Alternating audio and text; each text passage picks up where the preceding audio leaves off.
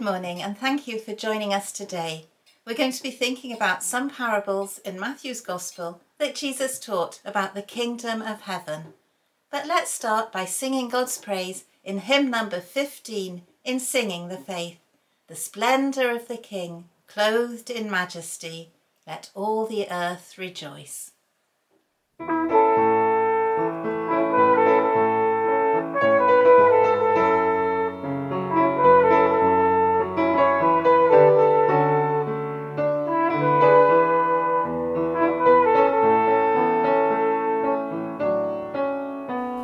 Splendor of the King, clothed in majesty. Let all the earth rejoice, let all the earth rejoice.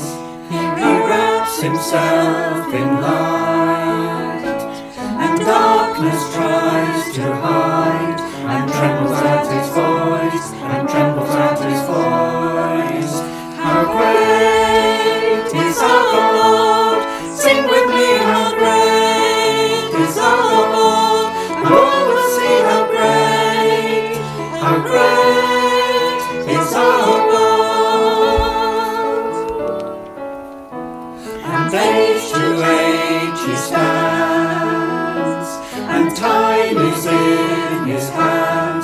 Beginning and the end, beginning and the end. The three in one.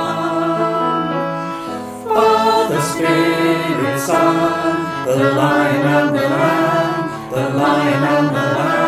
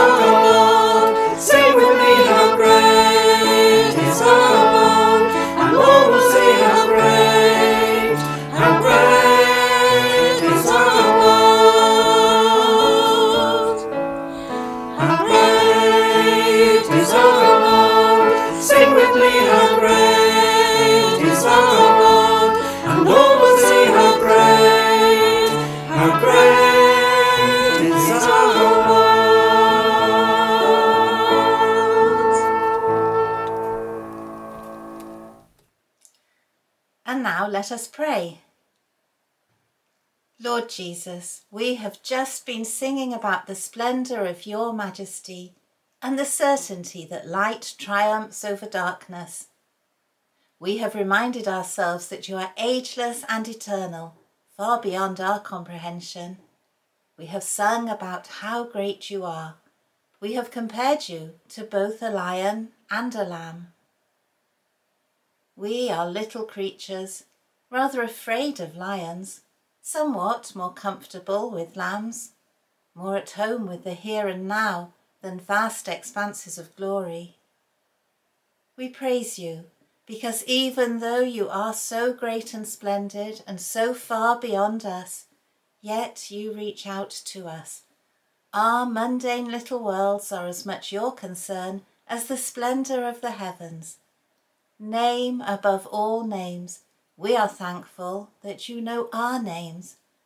Help us to lift our gaze from our own here and now to the vastness of your eternity. Amen.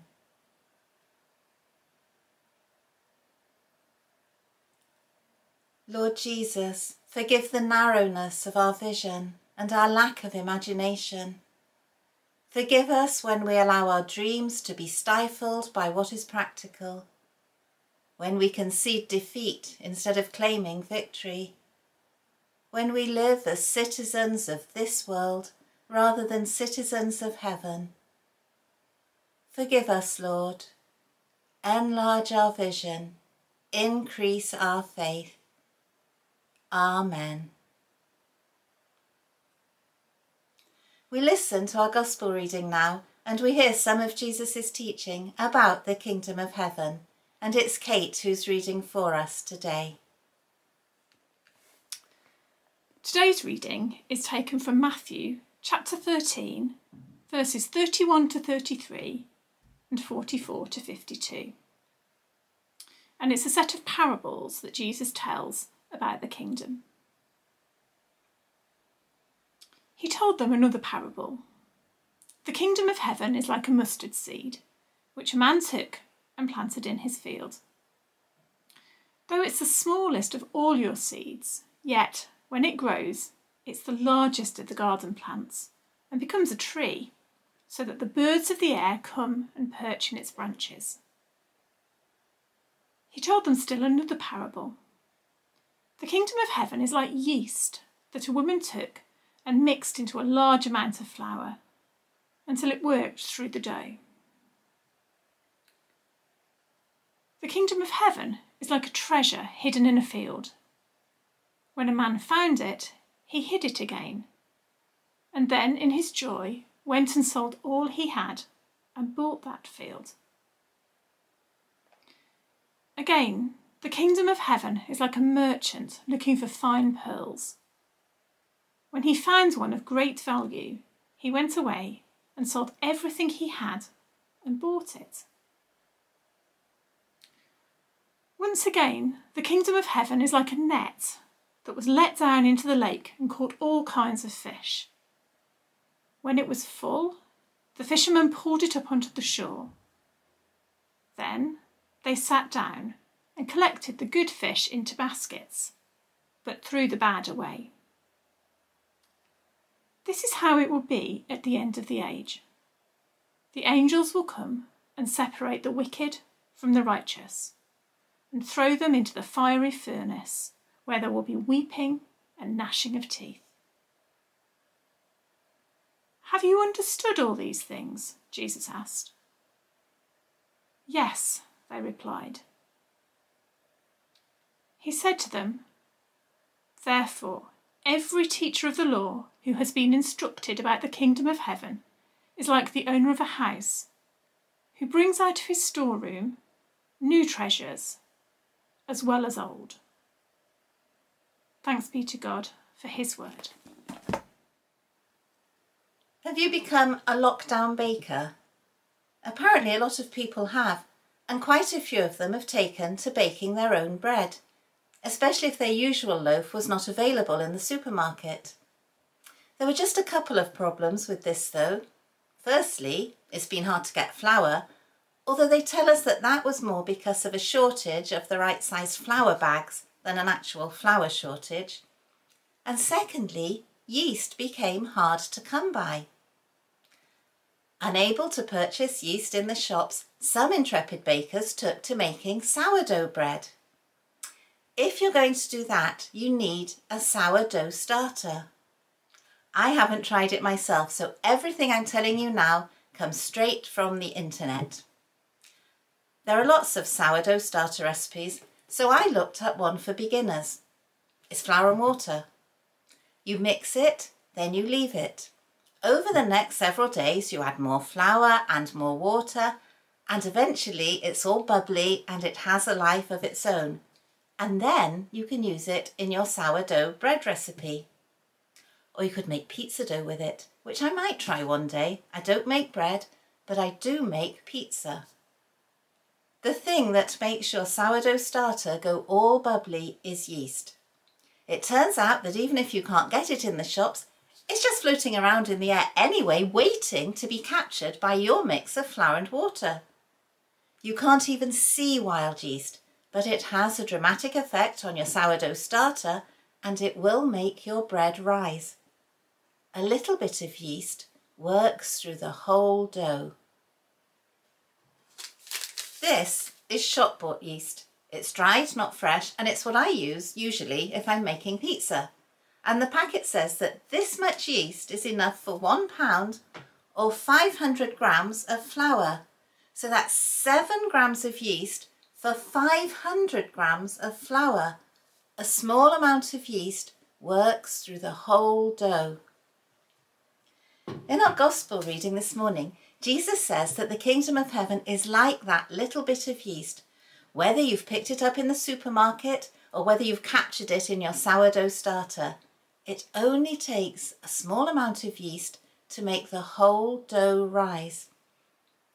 It's a similar thing with the mustard seed that Jesus was talking about. It's tiny, it looks unpromising, and then it just gets buried in the earth and left there. But it puts down roots, then a shoot appears, it gets bigger and bigger until it provides shade for people and birds come to shelter in its branches, all from one tiny, unpromising looking seed. I discovered hollyhocks last summer. It seems that wherever I went on my travels, there were hollyhocks. They were in the garden of Hereford Cathedral, they were in the north of Holland, they were in the Swiss Alps. Tall, colourful, and gloriously vulgar. I loved them. And I thought about the boring grey garage wall that dominates one side of my garden. And I thought, what that garage wall needs is hollyhocks. And so I bought some seeds and I planted them in a seed tray. Every day I looked at that tray of bare compost, hoping to see some sign of life. Eventually, the first shoot appeared, then some more, then some more. After a while, it was time to transfer them to pots, then to their position in the garden. My nephew works as a gardener, so there was a lot of texting back and forth, seeking advice and reassurance. But in spite of how knowledgeable he is, neither he nor I could force those hollyhocks, hollyhocks to grow any faster. They're about eight inches tall now, a long way short of those wonderful eight foot specimens I was admiring last summer. And they're not showing any signs of flowering either. I think I'm going to have to wait until next summer for full hollyhock glory. You can't force the pace, you see. But everything that's needed to produce the hollyhock or the mustard tree is in that tiny, unpromising seed. And that tiny amount of yeast is all that's needed to make the dough rise. There's another parable where some seeds fall onto poor, rocky soil and some get swallowed up by birds. And I'm sure we've all had our baking failures. But in these two little parables, there's a feeling of inevitability. Once the seed is in the ground, once the yeast is in the dough, results will follow. We can't force them, but results will follow. Now, the kingdom of heaven is not to be found on a map. There's no border control. There's no quarantine period, no matter where you've come from. The kingdom of heaven exists anywhere where Jesus is acknowledged as Lord. And sometimes, when we're watching the news and none of it's good, the kingdom of heaven can seem to be quite invisible. Noisier, more strident, sometimes malevolent forces appear to be in control of the world. But the kingdom of heaven has a foothold anywhere where Jesus is acknowledged as Lord, and those tiny, unpromising little footholds are all that's needed for the kingdom to grow. Just as surely as a mustard seed will produce a mustard tree, or a small amount of yeast will cause the dough to rise, so the kingdom of heaven will ultimately prevail. Our opening hymn was all about the splendour of the King, and our prayers of adoration were all about glory and splendour and majesty, and all of the dazzling but less cosy imagery that we use to talk about God. I suspect most of us are probably more comfortable with the more down to earth imagery of the Bible, and you can't get more down to earth than planting seeds or baking bread. But from time to time, we need to lift our sights and brave all that brightness, because that's how we know that God's kingdom will prevail. It may not look like much from where we are now, but all that glory and splendour remind us that what's visible to us here and now is not the whole story. It's God who's in control, and it's God whose kingdom will prevail. But belonging to God's kingdom isn't only a question of being on the winning side. During 2016, when all the arguments about Brexit were raging, it prompted me to consider what I value about my Britishness. I concluded that I really don't care what colour my passport is, and anthems and flags are not particularly important to me either. What I found was important to me was our shared national values values of hospitality and generosity, being outward looking. And it upsets me when we don't always live up to those values very well. I would like to think that we do still hold them however imperfectly. The kingdom of heaven has no flags or passports, but it definitely has values, and those values come with responsibilities, summed up most succinctly by the prophet Micah. What does the Lord require of you? But to do justice, and to love kindness, and to walk humbly with your God. The kingdom of heaven is more than just a nice idea. It requires commitment. And in the parables about the treasure and the pearl, Jesus tells us that however clamouring and pressing the demands of this world may be, our commitment to God's kingdom should take precedence. When the pearl and the treasure were discovered, the people who found them gave up everything else they had for them. In Paul's letter to the Corinthians, his first letter to the Corinthians, he says, If for this life only we have hoped in Christ, we are of all people most to be pitied. I've always quietly disagreed with Paul about that. I've always thought that even if it was just for this life, I would rather live this way, according to the values of God's kingdom, than any other way. But it's easy for me to say that in this country, and according to our national values, we don't face anything more than mild ridicule for professing a Christian faith. In other parts of the world, it is far more costly. And perhaps, if I lived somewhere else, I would understand better what Paul is saying. The parables of the treasure and the pearl tell us that the kingdom of heaven is worth the sacrifice, whether it's our reputation and status that's at risk, or even our personal safety and security. Our citizenship of heaven should be of far more value to us than anything else. That's a challenge that might make us feel uncomfortable. And we might not feel very comfortable with the final parable either. A fishing net is thrown into a lake. It doesn't differentiate at all. All kinds of fish are caught together. The net is hauled to the shore, and then comes the reckoning. The fishermen sort through the catch, and all the bad fish are thrown unceremoniously away. It's a parable that speaks of judgment, and we aren't all that sure how we feel about judgment. On the one hand, we'd much rather think about a God of love. Oh, surely God loves everybody, we say. The thing is, we can't have the love without the judgment.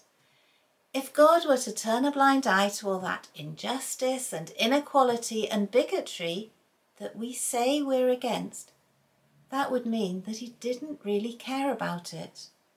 We're expecting God to put things right in the end. But that will mean judgment. You can't declutter your house if you refuse to throw anything away. We can't have a perfect kingdom if it's going to tolerate all those systems and structures that perpetuate injustice and inequality. But even if we're uncomfortable with the notion of judgment, we still have issues with God's timing. We think judgment is too slow we wonder why God isn't acting more quickly and more decisively. Why does God allow this, we moan? Why doesn't God do something about that terrible person, we complain? The fish were side by side in the net until after the net was hauled to the shore. The message of the parable is that God will act to put things right when it's the right time for him to do that. And that's a matter for his judgment, not ours. So, what do we learn about the kingdom of heaven from this little series of parables? We learn that the kingdom is coming and that it will prevail, however unpromising things might look from where we are now. We learn that the kingdom is worth everything that we have and are and should be the most important thing to us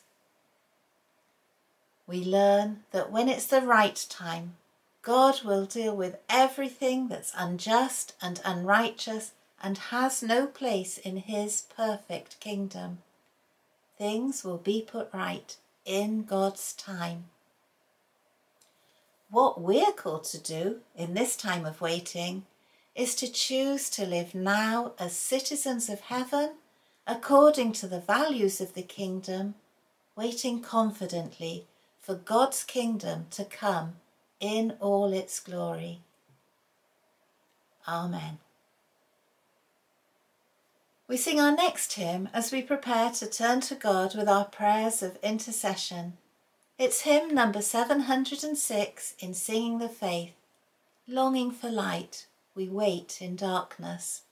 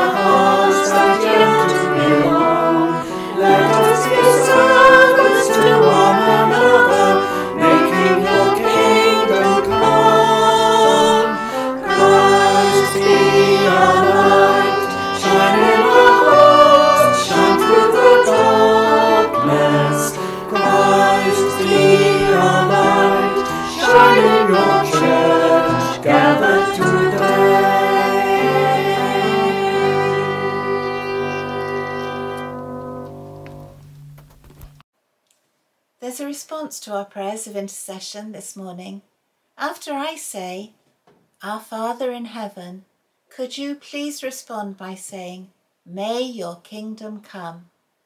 After the words, Our Father in heaven, your response is, May your kingdom come. And so let us pray. Heavenly Father, we look forward with anticipation to the day when your kingdom will come in all its glory, when all that is wrong will be put right, and righteousness and justice will reign. Our Father in heaven, may your kingdom come.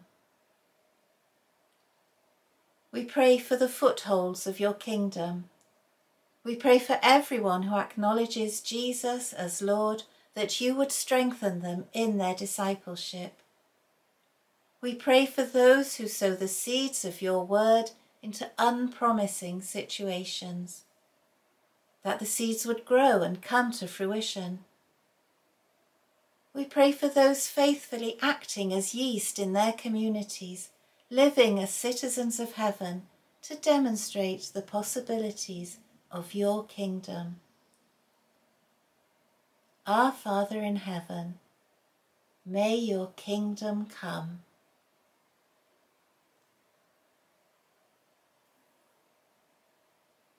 We pray for those who have given all for your kingdom, those who have left behind all that was familiar and may have been ostracized by their families and communities. May they see your kingdom in all its glory. Our Father in heaven, may your kingdom come. We pray for those who are victims of the powers and principalities of this world. We pray for those who are suffering because of prejudice and intolerance. We pray for those who are hungry because of economic systems which keep them out of work or on minimum wage. We pray for people who are bullied and intimidated by those who should protect them. Our Father in heaven, may your kingdom come. Heavenly Father, whose kingdom is everlasting, we ask these prayers in the name of your Son, our Saviour, Jesus Christ. Amen. And we say together the prayer that Jesus taught us. Our Father in heaven, hallowed be your name. Your kingdom come, your will be done on earth as in heaven. Give us today our daily bread. Forgive us our sins as we forgive those who sin against us. Lead us not into temptation, but deliver us from evil. For the kingdom, the power, and the glory are yours, now and forever. Amen.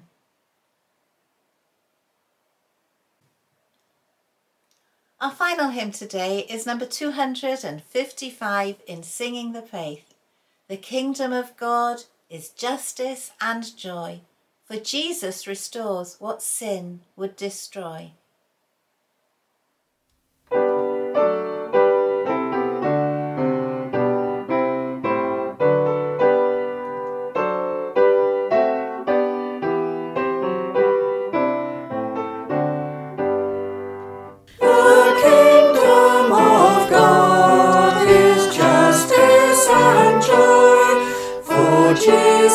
restores what sin would destroy.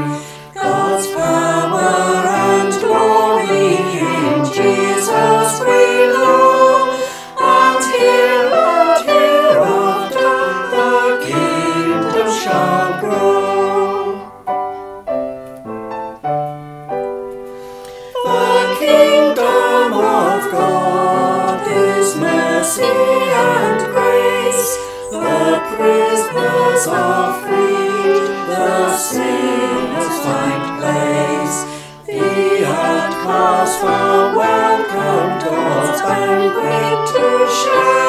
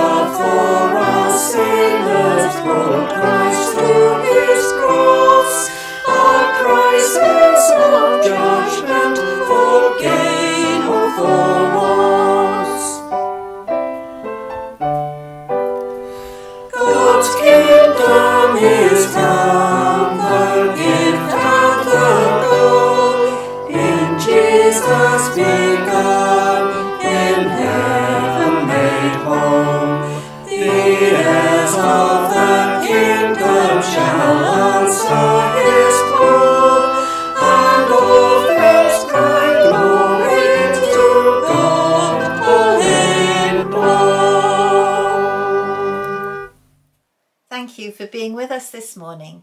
We close by blessing one another, even though we can't see each other, with the words of the grace. May the grace of our Lord Jesus Christ and the love of God and the fellowship of the Holy Spirit be with us all evermore. Amen. And age to age stands, and time is in his hands, beginning and the end, beginning and the end. The Godhead three in one, Father, Spirit, Son, the Lion and the Lamb, the Lion and the Lamb. How great is our God! Sing with me, how great